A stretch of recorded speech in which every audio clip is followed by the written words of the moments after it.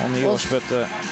Og så er lista på 2,31 i høyde. og Det er Marco Passinotti, og det er Passinotti, Tamberi og Barsim som er igjen når eh, vi er kommet til 2,31. Kinar, Grabac og Tobe klarte ikke 2,28. Det er første forsøk for Passinotti som eh, fremdeles er uten riv i denne konkurransen.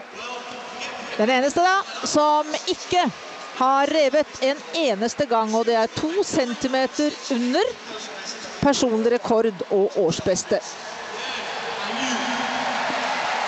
På Fastinotti,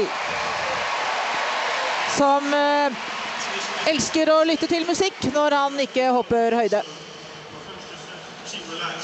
Jeg tipper det er første gang Fasnotti hopper 2,31 i langbukse.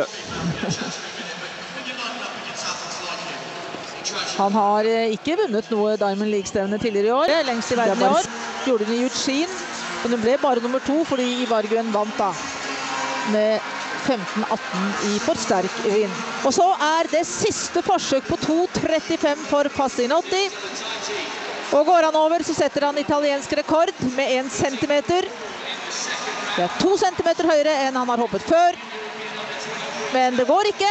Og dermed så blir han stående med 2.31. Og sin første Diamond League-seier. Overhodet.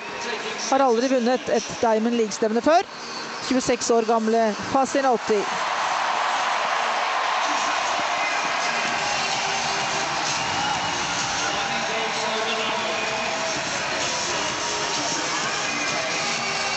Som eh, var med i EM-finalen i Zürich i fjor og ble nummer sju der. Fasinotti 2.31, Tamberi 2.28. Barsim også 2.28 på tredjeplass. Kinar nummer fire med 2.24.